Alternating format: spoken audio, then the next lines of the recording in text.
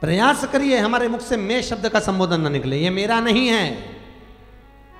जिस मकान में रह रहे हो, जिस भवन में रह रहे हो, ये कहीं किसका है? धीरे धीरे धीरे धीरे, फिर तुम्हारा हुआ। और वो भी तुम्हारा नहीं है। आने वाले समय में बच्चों का हो जाएगा, तुम भी निकल जाओ। निकल कर बाहर। नारद जी महाराज के मुख पर मैं का संबोधन आ गया, जहाँ श्रीमन नारायण होता था।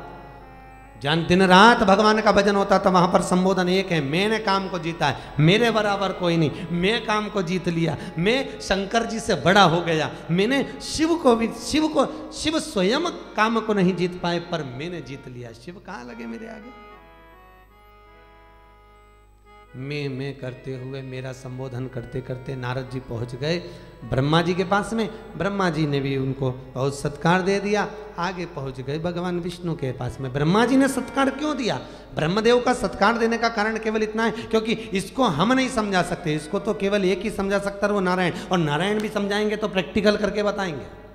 तब इसको समझ में आएगी, क्योंकि प्रैक्टिकल का जमाना है।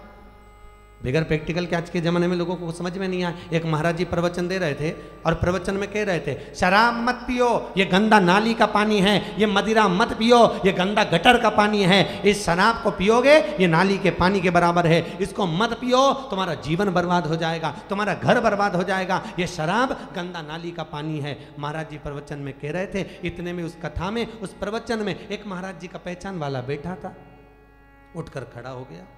उसने कहा "हे महाराज इतनी बड़ी बड़ी बात कहता है, तेरा सग्गा भाई तो पी के नाली में पड़ा।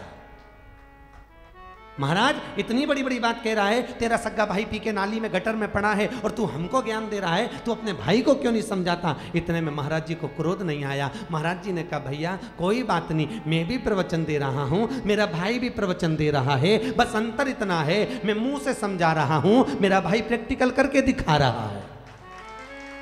अंतर केवल इतना है कि मैं मुँह से समझ आ रहा हूँ और मेरा भाई प्रैक्टिकल करके दिखा रहा है कि शराब पीने वाला व्यक्ति की गति क्या होती है, नशा करने वाले व्यक्ति की गति क्या होती है, ये मेरा भाई दिखा रहा मैं मुँह से समझा रहा हूँ प्रैक्टिकल करके दिखा। मन तेरा है तो कौन से समझे? प्रैक्टिकल का जमाना प्रैक्टिकल करिए।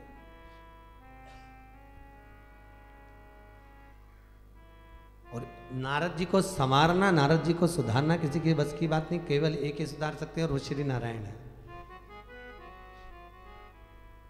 श्री नारायण। नारद जी पहुँच गए भगवान विष्णु के पास में।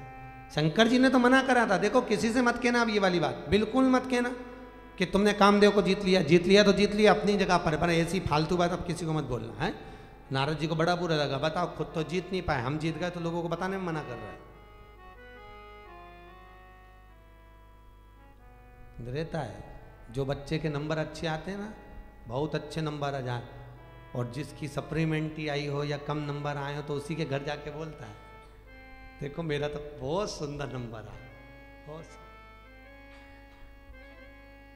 भगवान ने मना करा, नहीं माना नारद नारद जी गए, भगवान विष्णु के पास में, नारायण के पास में। क्यों? नारायण के पास जाने से भगवान शंकर ने मना क्यों किया?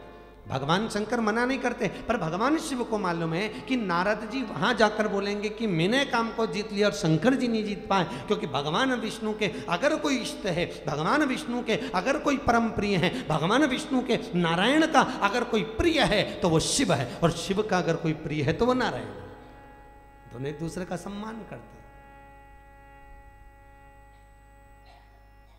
दोनों का प्रियता।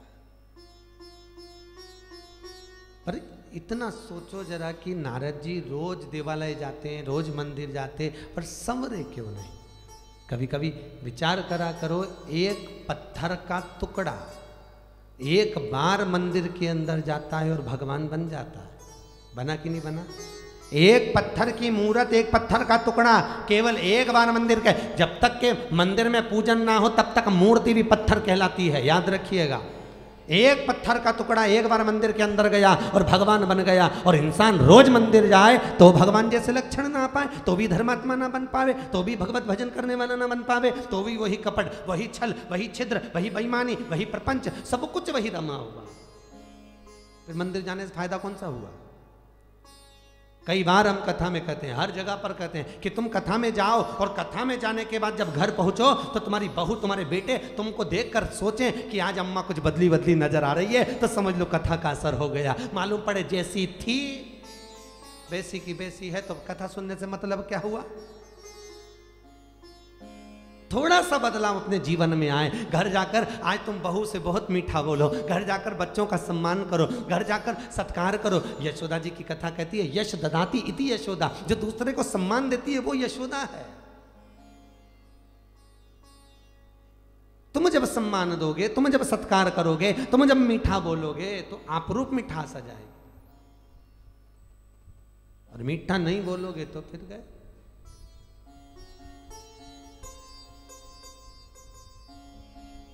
मिठास, एक राजा ने एक महल बनाया, बड़ा सुंदर महल, इतना जोरदार महल बनाया कि उस महल को देखकर नगर सेठ को बुलाया, सेठ जी आओ, जरा महल देख के जाओ। नगर सेठ आया, नगर सेठ ने आके महल देखा, क्या जोरदार महल है, इतना सुंदर महल, परंतु महाराज इसका दरवाज़ा छोटा रख दिया। तो राजा ने कहा, दरवाजे से क्या होना है?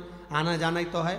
इतने में सेठ जी बोले, नहीं महाराज, दरवाज़ा छोटा रख दिया, जब तुम मरोगे तो तुम्हारी अर्थी कैसे निकलेगी? राजा ने सोचा, बताओ, हमारे मकान का मुहूर्त महल का, और ये हमारी अर्थी निकाल रहा है। राजा ने दूतों को बुलाया ले जा इसको बंद करो थाने में।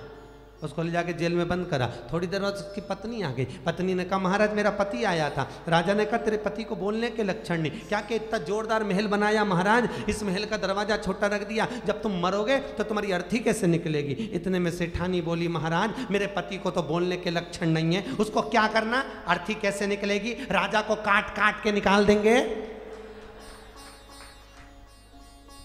तो जैसे ही बोले, राजा को काट काट के निकाल देंगे ना, राजा के तो चक्कर आने लगे, बताओ। मेरे मकान का मोहरत हो रही है जी, मेरी टुकड़े कर रही है। राजा ने दूतों को बुलाया, ले जाओ, इसके बंद करो। बंद करो इसको ले जाके। सेठानी के बंद कर दिया। थोड़ी देर बाद इनका बेटा आ गया। बेटे ने आकर पूछा, महाराज, मेरे माता पिता आए थे? राजा ने कहा, तेरे माता पिता आए थे? ना तेरे बाप में बोलने के लक्षण है, ना तेरी माँ में बोलने के लक्षण है। तेरे पिताजी इतना बड़ा महल बनाया दरवाज़ा छोटा रख दिया। राजा, जब तू मरेगा तो तेरी अर्थी कैसे निकलेगी? और तेरी माँ क्या क्या काट काट के निकाल देंगे? इतने में बेटा बोला, महाराज, ना तो मेरे बाप को बोलना आता है, ना मेरी माँ को बोलना आता है। उनको क्या करना अर्थी कैसे निकालेंगे? अरे, राजा को अंदर ही जला देंगे। जैसे ही बोला, राजा को अंदर ही जला देंगे। राजा तो चक्कर खा के नीचे गिर गया। उठते से ही राजा ने बोला, इनके खानदान में मिठास है ही नहीं। अब जिनके कुल में मिठास नहीं है तो वो मीठा कैसे बोलेगा भाई? जरा विचार तो करो। कई कई होते हैं जिनके मुख में मिठास है ही नहीं, वो दूसरे में केवल बेईमानी, दूसरे का केवल कुछ ना कुछ कपट के शब्द ढूंढा करते हैं। रहते हैं। रहती लोगों की आदत। एक एक व्यक्ति निकल के जा रहा था, उसने कोयल को देखा। कोयल कितनी सुंदर बोल रही है, पर काली नहीं होती तो कितना अच्छा होता। आगे गया तो समुद्र को देखा, इतना सारा पानी, पर पिया तो खारा। इतना पानी, इतना सुंदर समुद्र, पर खारा नहीं होता तो कितना अच्छा होता। खारा नहीं होता। फिर आगे चला। तो आगे चलकर देखा, गुलाब के फूल को कितना सुंदर गुलाब का फूल है, कितनी सुगंध है, पर गुलाब में कांटे नहीं होते। तो कितना अच्छा होता। इतने में कोयल, गुलाब और समुद्र का जल, तीनों ने मिलकर कहा रे इंसान तुझमें दूसरे की बुराई देखने की आदत नहीं होती तो तू कितना अच्छा होता। जरा विचार कर कर देखो, हम किसी ना किसी की बुराई देख रहे हैं, हम किसी ना किसी रूप में, किसी ना किसी की त्रुटियाँ देख रहे हैं, बस एक ही काम में लगे हुए हैं कि कुछ ना कुछ बुरा देखना, कुछ ना कुछ बुरा निकालना।